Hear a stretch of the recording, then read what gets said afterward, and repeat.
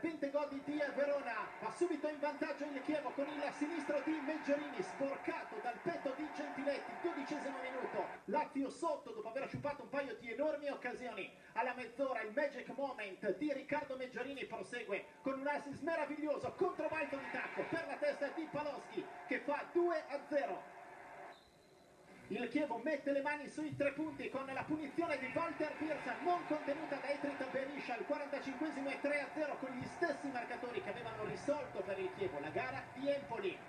Nel secondo tempo arrotonda il punteggio il Chievo, attenti a quei tre, Meggiorini di testa, Pirsa per l'assist, Paloschi per la conclusione, Poker Chievo, Lazio al tappeto, 4 a 0, Chievo a punteggio pieno,